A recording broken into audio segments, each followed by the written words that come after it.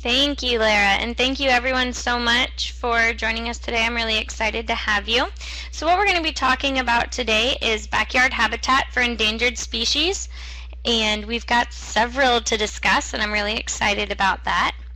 So what we're going to talk about specifically is we're going to go over very briefly what an endangered species is and the different types of endangered species there are.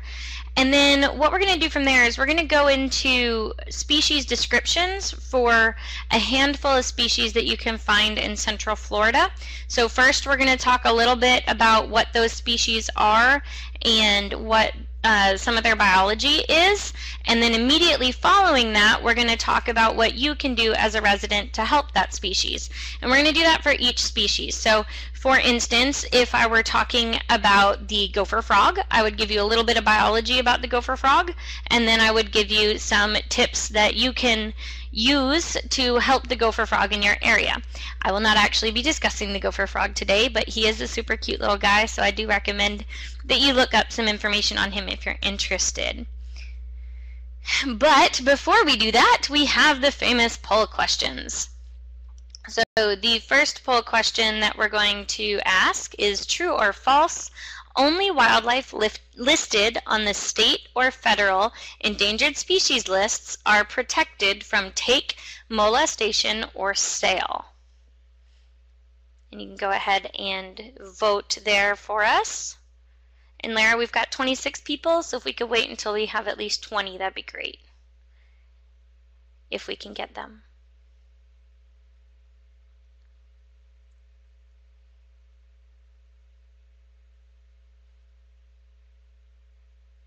All right, actually that might be pretty good.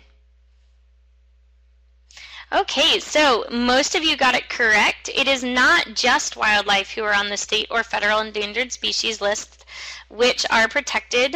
Um, there are other protections out there. So let's go ahead and get that poll question out of the way. All right, so we have many, many laws which exist to prohibit um, people from pursuing, molesting, harm, harassment, etc., etc. Um, this covers whole species, so the entire critter, alive or dead. You cannot do these things to it. Um, but it also includes pieces of that critter. So if you're familiar with international wildlife laws or our federally endangered species, um, sometimes they wind up in the news because someone was caught selling a piece of that animal. So it could be ivory, it could be a bear paw, something to that degree. Um, and so this, this protection exists for any piece. And so that is to make sure that we're not encouraging people who are already planning on harming those animals. We're not giving them an easy avenue to get rid of those parts. It also tends to include habitat, nests, eggs, and breeding habitat, but that varies depending on the species and the law that refers to them. So in the bottom left hand side of your screen there, you'll see resources for endangered species. And on there you can see a bunch of different um, websites that I have listed there, including some by U.S. Fish and Wildlife on why we might be interested in saving endangered species, but also the local Florida list and the federal endangered species list as well. And if you scroll all the way to the bottom of that resource, there is a link for laws that protect Florida's wildlife. And that link is a UF-IFAS extension document which goes into a little detail about the purpose of many of our wildlife laws. And as Lara said earlier, this webinar is not to be used as legal advice. Um, we're just going to be very briefly talking about these different laws, but please do not take anything that we may say or present here as the letter of the law. As always, seek legal advice from a lawyer if you should need it. So the two classifications that people are most familiar with are the Federal Endangered Species List. Uh, it's also referred to as the Threatened and Endangered Species List or the T&E species. But there are many other protections that are included in the Endangered Species Act as well.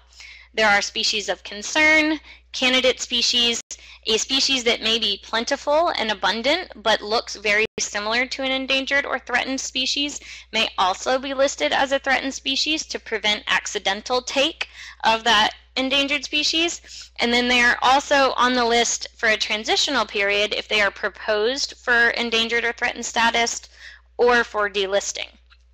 So a great example of, um, of a species that has a similar appearance could be the alligator and the crocodile. And so that is a good example for that there. Then we also have the state lists. And so we have the same threatened um, on the state list and species of special concern. And then there's also any species that is on the federal threatened list can be listed as threatened at the state level, even if it's not threatened at the state level. So for instance, if we had a critter that is super abundant here in Florida, but there's that endangered species that it looks like, either in part of its habitat or in a significant portion of its habitat, it could be listed simply because it's on the federal list as well. And then these are some of our other wildlife protection acts. So the Lacey Act is one that a lot of people are really familiar with. And what this one does is it prohibits interstate and international commerce of wildlife. Um, wildlife can mean any animal, bird, amphibian, mollusk, crustacean. It includes um, those animals' dead bodies, skin, eggs, or young. Uh, this act was first enacted in 1900 and in 1981 we added the Black Bass Act which was incorporated into it and um, since then it's been updated numerous times and um, it was expanded to plants in 2008 uh, so not just animals. Migratory bird treaties are another um, very commonly known legal act to protect species. Originally, this was simply between the United States and Canada. That was in 1918. But they added Mexico, Japan, and the USSR, which is now Russia. Um, and that treaty states that it's unlawful to pursue, hunt, capture, kill, possess for sale, purchase, or deliver any migratory birds, and that includes their eggs, nests, and body parts. And this was um, part of this act was as a result of the fashion industry and how we were um, using a lot of these species for hats and other fashionable items. Uh, another another one that is discussed is the Pittman-Robertson Act, which is also known as the Federal Aid in Wildlife Restoration Act. So this one provides federal money to states that are going to manage game and non-game wildlife restoration. Um, funds come from sporting goods such as ammunition and arms, and those sales or the the pro, um, portion of those sales go to the states based on the land area and number of hunters in each state. So this is one of the great examples of how hunters and anti-hunting wildlife enthusiasts are both trying to help out wildlife. So simply by being a hunter and purchasing items you might use for hunting, you're actually funding wildlife conservation. So it's important when we're talking about conservation to really talk about what the issues and true threats to those wildlife species are and make sure that you're working with everyone who also cares about that species. Just because someone is into hunting does not mean that they are not someone who cares very deeply for our wildlife. Another important act that we have here is the Bald Eagle Protection Act. This one was originally from 1940 and it protected bald and golden eagles in the United States and any lands within its jurisdiction, but it prohibits the sale, harassment, purchase, transportation, um, or movement of bald and golden eagles, including nests, feathers, body parts, and eggs. Um, and it was amended in the mid 90s to allow some distribution of eagle feathers for our Native American uh, populations and their religious acts that are um, that use a lot of these parts. And so there is an exemption built into that for our Native people. Um, so another one we have is the Marine Mammal Act. This one is from 1972, part of that great uh, decade of environmental conservation And this one includes any marine mammal such as manatees, dolphins, and whales that may be in danger of extinction as a result of human activity. It also prohibits the take of marine mammal, mammals in U.S. waters and um, by U.S. citizens outside of U.S. waters. So this is an important one for our marine wildlife. And as I said before, you can find more information about these acts and many, many others at that UF IFAS extension document linked below under Laws That Protect Florida's Wildlife. There are probably 15 more laws in that document that you could um, look at and learn about. So like any law that we have in, in Florida and nationwide, um, they're open to interpretation and enforcement. So this is where your political um, thoughts and opinions may have an, an impact on wildlife. And so if it's something that you care deeply about, you might want to look into what your um, what the people you have to vote between what they have done in the past regarding wildlife and wildlife funding, and maybe expand on that and look at what they've done for conservation lands as well. So just like any other part of the political process, being an engaged citizen is important, and knowing how various people at different levels of local, state, and federal government have approached these topics might influence your decision. So, as always, we are impartial and non-partisan here at UF IFAS Extension, but if wildlife is something that you are interested in, you might want to look at these different aspects of the laws and just know how it works at your local level. So again, we are not giving legal advice. That is my final disclaimer on that uh, remark. So let's get into some of the species, the reason y'all are actually here. And we have another poll question. This one is an open-ended question, so we'll see how that uh, works. Oh dear, Lara disappeared. I don't know what I did. Um, I still see Maybe I make another on one? end. I don't know if can people see it on their end. I don't see any responses coming in. Hmm. Oh, okay. You see it. Are Oh, people go. responding? I can't see it. I just got one answer that came in. Let me see if I broadcast results. Can you see it now? Oh, there they are. They're coming in. I don't know why you can't see it though.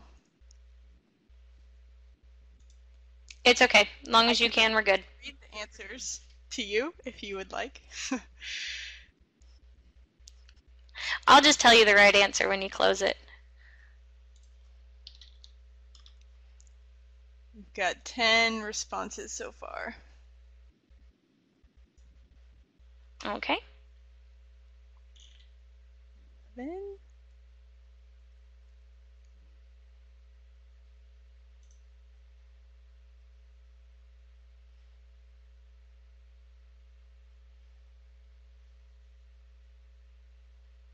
All right. Do we have enough responses that I can give you the answer?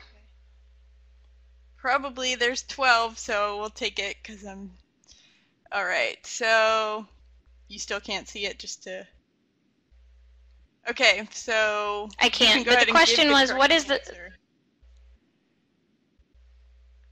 Okay, so the first step that a resident should take to protect um, threatened and endangered species in their area is simply learn about the species that you might have in your area and figure out where they are, what habitats they like, and if those habitats are present near you. And so that might seem like a trick question because it's super basic, but that really is the first challenge a lot of people have is they don't know what endangered species or threatened species are near them. So before we get into some of the individual species, I wanted to cover a few that are not often found in backyards. So these are species that are listed at the state level and the federal level, and a lot of them require large tracts of land that are managed in a very precise fashion. So eastern indigo snakes are, you can see them anywhere in the state of Florida if you're about the luckiest person on the planet. I have been trying for years. I still haven't gotten to see one in the wild. But they're a beautiful snake that can get up to um, eight feet long. They really prefer ridge habitats and um, areas that are managed in that in that way. Uh, they're non-venomous. They are quite large. They're that very dark black, almost purpley black color. Uh, a very heavy-bodied snake. A lot of our other native snakes, which are this size, are quite thin. Um, they don't have a really heavy-looking appearance to them. But the eastern indigo snake can grow quite, quite large, and it can have a throat that's reddish or pink, and so that's a good way to distinguish it from the black racer the black racer has a white chin. Another one is the Florida bonneted bat. This bat is one of, or is the largest bat that we have in the area, but it is also the rarest. Um, it's really only found in very small populations, um, mostly in very, very South Florida, but recently there have been some populations that have been seen in the Central Florida Ridge area, and FWC is currently doing some survey work to see if they have bonneted bats in the area. They also have a call that you can hear and recognize, so that's one of the ways that FWC is surveying for the Florida bonneted bat. It can get quite large, like I said, it can get almost a wingspan of 20 inches, and they are primarily a insectivorous bat, uh, but we don't really know too much about the life history because they are so rare. So they're super cool, but you're probably not going to see them in their in your backyard unless you live in a very rural area near the outside of Naples or quite possibly in the Frostproof area, but quite rare. The red cockaded woodpecker is one that a lot of Floridians are familiar with, and this species can be seen in Ocala, especially in the National Forest, and on other large tracts of fire-maintained pine ecosystem. The red cockaded woodpecker requires um, mature pine trees that uh, have an open canopy below. And so as a result of that, their habitat is quite limited. Another one is the Florida scrub jay. This is another species that Floridians tend to be familiar with. It's an endemic species that we have here. You can also find it in the ridge ecosystem. Uh, the ridge, as you can tell, is a common theme here. It has a lot of species that are rare threatened or endangered. Um, the, the scrub jay is very unique in Florida in that it's a species that raises its young as a family.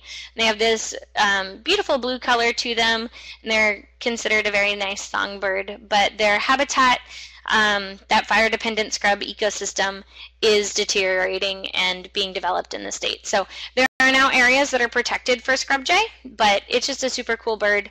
If you get the chance to see a family unit of scrub jays, it's something you'll probably never forget. Another one is the crested caracara, and this is one of my favorite birds. He's so funny looking. I love his little um, brown hat or toupee that it looks like he's wearing, especially if there's a wind coming from behind them. It'll kind of flip up. It looks like he's got a little toupee on. You can see these birds in central Florida. They tend to be uh, near pastures and rangelands in south central and central Florida, especially over by the ridge. I see them most often on the fence posts driving from Winter Haven to Sebring or uh, to Zephyrhills or going near the Peace River. So when you get out into those big open cattle lands, that's where you're most likely to see a caracara. They, in my anecdotal experience, they tend to hang out near or around um, vultures, but that is not required for them. That's just where I happen to notice them most frequently. But they're a super fun bird to see, quite large, very unique in its um, in its look there. So the first individual species we're going to talk about is the Sherman's fox squirrel. This is a squirrel that you are, I don't, I don't want to say unlikely to see, because um, it is possible to see them around central and north central Florida, but they are most likely going to be found in rural areas or on the edge of managed forests. Um, only about 10 to 20 percent of their historic habitat range is estimated to remain in Florida, and that's because they require those really large open areas with mature trees. Um, they're known for their big bushy tails, which is how they got the name fox squirrel. And they primarily eat longleaf pine seeds and turkey oak acorns. And because of that primary diet, that's where a lot of their habitat uh, needs are.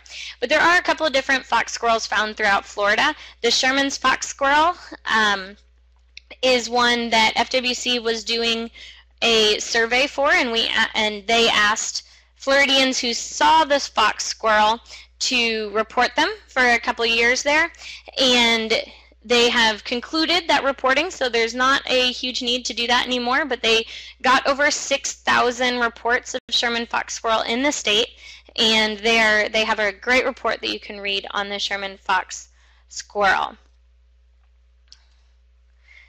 So like I said, unlikely to see them in urban residential areas.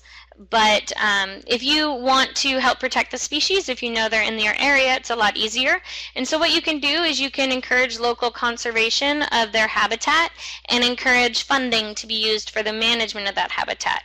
Um, like a lot of our scrub and longleaf pine ecosystem inhabitants, they require fire and proper management of the vegetation to really survive in that area. Another one you might see is the wood stork. This is one that I see all over Polk County. Um, they do have local populations that are quite abundant, but it is patchy and their habitat has shrunk dramatically, especially in South Florida. This is the largest wading bird that we have in, in the U.S., and it's the only stork species that breeds here. So we do have um, breeding pairs in South Carolina and rest of the southeast, but they feed on small fish, crayfish, amphibians, and reptiles. The best way that you can help this species is to know about local populations again and their habitat requirements. And so again, encouraging local government, your city, county, um, and your FWC working groups to promote the species are a great way to help the wood stork. Something you can do as a resident if you live on a lakefront or wetland area is to avoid allowing your pets to harass the wood storks. They are quite large and many dogs will chase after them if left to their own devices to be able to do that. If you have a, a yard that backs up to a lakefront or something and you just let the dog out in the backyard when the wood storks are there, that's, uh, you know, that kind of stress isn't great for any critter. So that's, a, that's one thing that you can do as a resident. And we've got another poll question, Lara. So which of the following species are protected in the state of Florida? I know this one has a lot of options, so think carefully.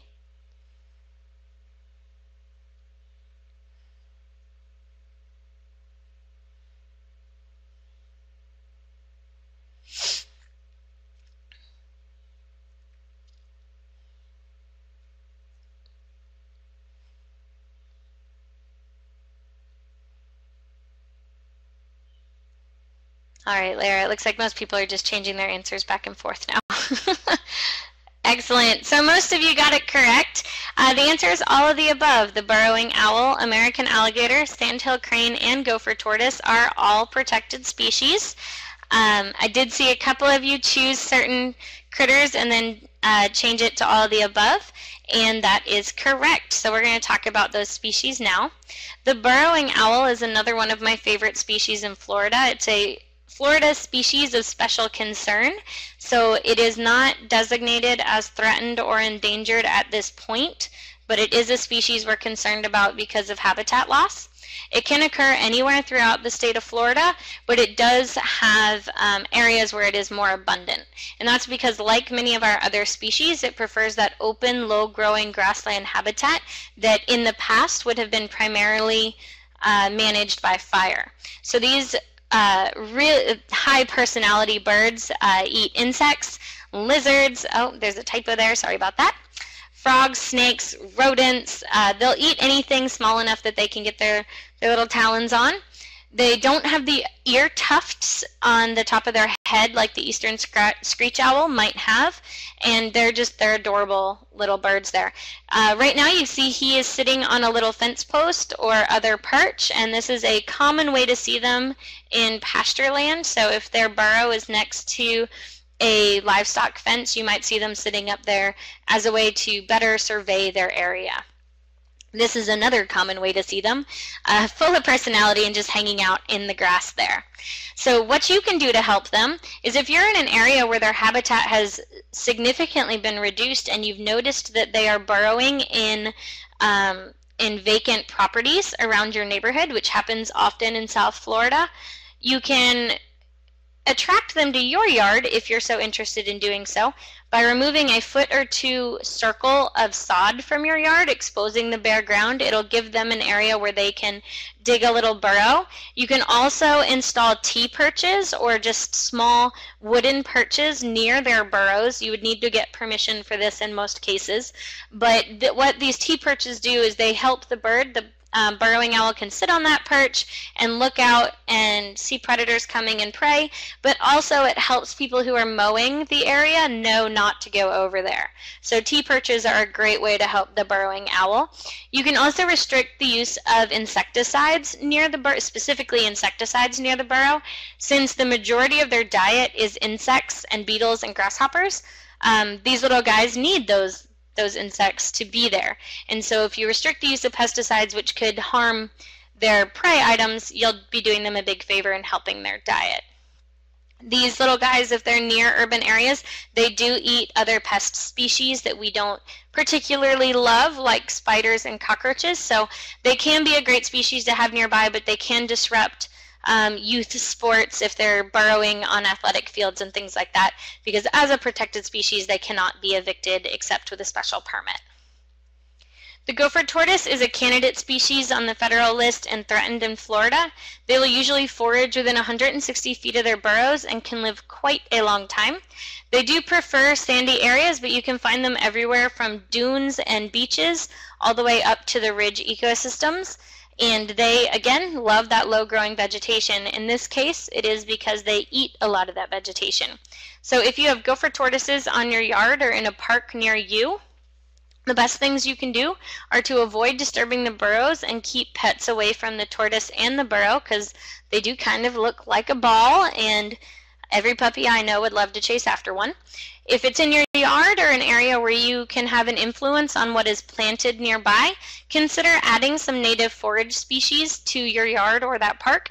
They love to eat blueberries, beautyberries, prickly pear cactus.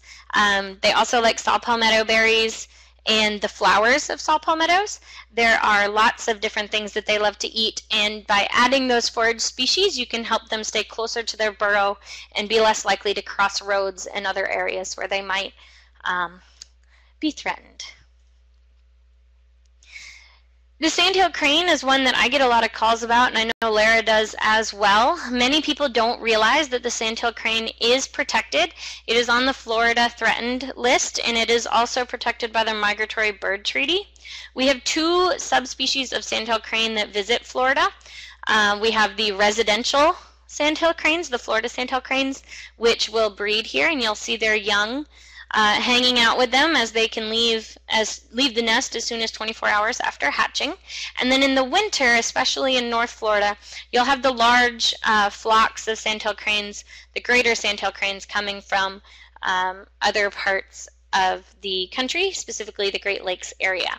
They do prefer marshes, prairies, and pastures, but if you've been driving down the highway in Florida in the last five or ten years, you'll notice they also like right-of-ways, yards, parks, anywhere that they can forage for their favorites, um, which are uh, grubs in the yard, worms, other small things like snakes and lizards, berries, and seeds.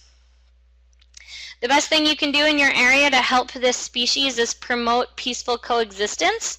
Um, the biggest complaints that I get phone calls about are birds pecking at glass doors and people's cars.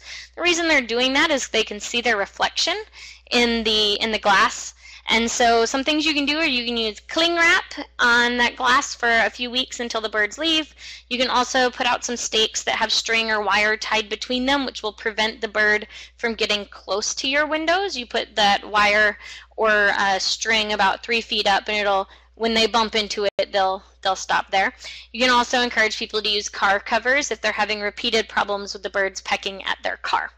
It's important to refrain from feeding or attempting to feed sandhill cranes in all endangered and threatened species, actually all wildlife. Um, that was the message that FWC wanted to get out related sandhill cranes is we want to avoid getting near them. Even though they're quite large birds they do have a friendly demeanor and people will get close to them. And like many of the other species we've discussed today you want to keep your pets um, contained and not allow them to chase and possibly attack them And the last poll question we have, which brings us to the end of our presentation, which of the following is not true of the American alligator?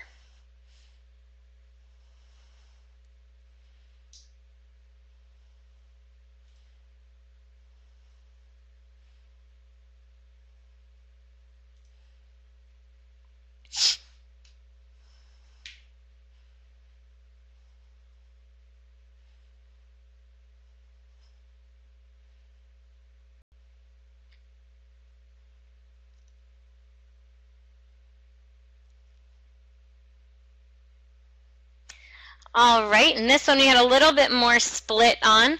Um, the one that is not true is that they were removed from the endangered species list. And so what happened with the American alligator is they are now abundant and therefore are not on the list as a species themselves, but because they are so closely related in appearance to the American crocodile, they are both on they're on both the Florida and federal uh, threatened list and that is simply because of their appearance to the crocodile. So as anyone here in Florida can tell you, they can get quite large, both in length and in weight. They are opportunistic feeders that are uh, less aggressive than crocodiles. They are not likely to go out and be super aggressive towards residents or other other wildlife unless they're hungry and they are easy to catch. Uh, there are exceptions to that rule always, but they're quite abundant in Florida.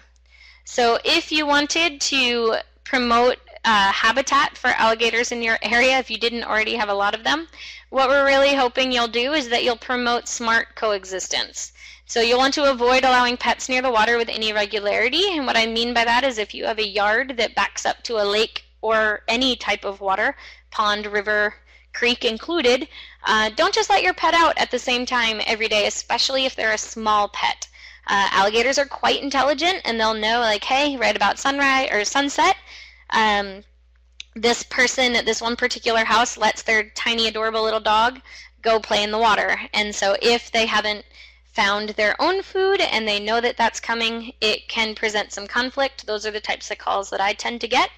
But one people forget about is please don't clean your fish, your catch near the water and throw the guts in.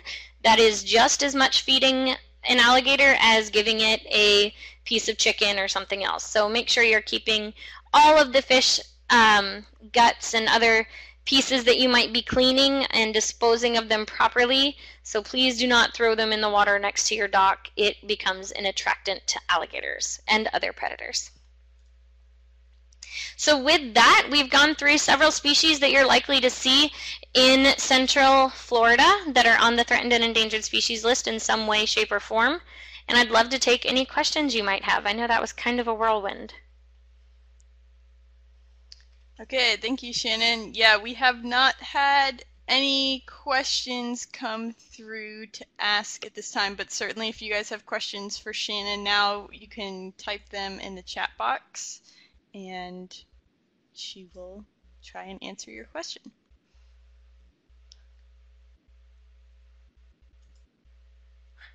Not sure if no questions is a good thing or a bad thing.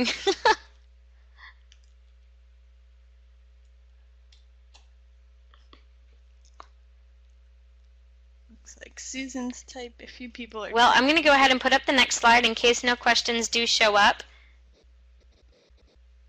Okay. Okay. Perfect. Well, yeah, please feel free to keep typing in those questions. But if there are no questions or if you need to leave, please click on the screen to get the evaluation survey before you leave.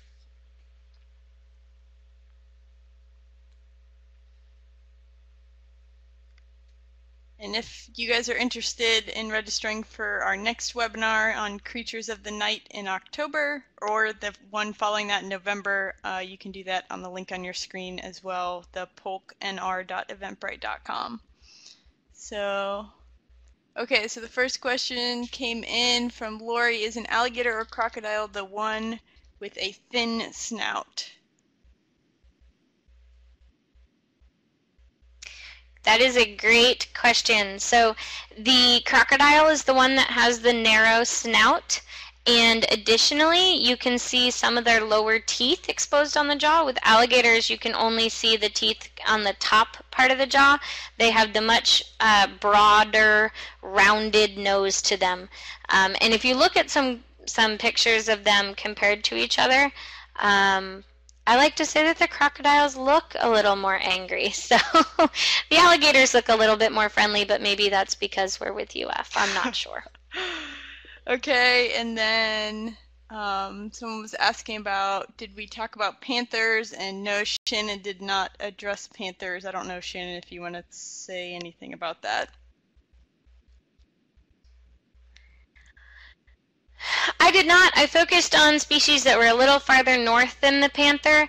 Uh, Florida Fish and Wildlife has some great information on panthers if you're interested in it, and I'll get that link for you and put it in the chat box in a minute. Um, but panthers are another species that require absolutely large tracts of land and um, development and the cross-sectioning of that habitat with roads are some of the biggest threats that they have now. Okay, and then Susan wrote a comment to you, Shannon, so I will let you read that. It's not a question. Um, Okay, I've seen wild okay. peak. Bill is asking a question. I've seen wild peacocks in an area neighborhood. Are they endangered? Peacocks are not native to our area, um, so I don't. Uh, they wouldn't be on the endangered list because they're not native to Florida. They would be an exotic species. Um, they have established some populations in different areas of Florida where they were released as pets or from livestock, but no, they are not on the, the state list. Okay, and then Jim has a question. In the event an alligator is found in a body of water near your yard, who removes it? That's a great question. So there is it's easy to assume any body of water in Florida has alligators in it, whether or not you see them. Um, so alligators are not removed from local waters unless they are deemed to be a nuisance. Um, if they are deemed a nuisance, we do recommend that you call Florida Fish and Wildlife. And what I mean by nuisance is not that they are present, but that they are exhibiting aggressive behaviors towards people. So if they've been fed, you'll you'll notice that alligators will come towards you instead of going away from you. That's a good indication that they are becoming adapted to humans and are becoming a nuisance alligator problem, in which case we want you to contact FWC, your local office, or by calling the Wildlife Alert Hotline. If the alligator is over four feet, they will call a trapper to come out, and that alligator is not relocated. He is um, disposed of, and the trapper gets to keep what they what they capture. And so Sometimes if they're smaller than four feet, they'll relocate them. It really depends on the specific incidents. But I just added a link to the chat box for the nuisance alligator program. So if you do have that issue, please feel free to call FWC and talk to them about it. But an alligator being in a body of water near your home or a park that you're in is not considered a nuisance animal. They're just doing their business and hanging out where they are. Okay, and for the sake of time, I think we'll just take one last question. I know we're already at 1 o'clock. Any other questions that come in, Shannon and I will answer via email when we re um, reply to everyone that registered. So Susan was asking, have any bonneted bats um, been seen in north central Florida? We have some reports of Florida bonneted bats in the Frostproof area, which is just south of Lake Wales. Uh, so FWC is currently doing surveys to see if they can find a population in central Florida. Otherwise, they have only been known to really inhabit an area near Naples and by uh, Big Cypress. So what they tend to need as far as habitat is uh, that mature forested area again.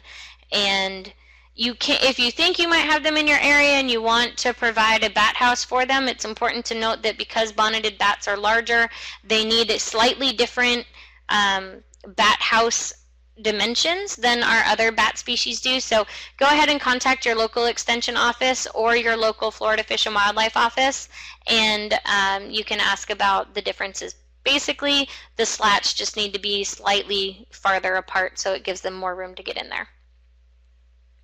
Okay. Thank you, Shannon, and thank you to everyone who tuned in for today's webinar. Um, at this time, again, if you have not completed the evaluation, if you click on the link on your screen where it says click here for evaluation survey, Shannon and I would very much appreciate your feedback and input. Um, and like I said, if you want to register for future webinars, if you haven't already, you can do so at the bottom link on your screen. Um, and again, we will send out the link to the recording and answer any other questions that were not answered within our time. So um, hope you guys have a great rest of the day and thank you again to Shannon for a great presentation.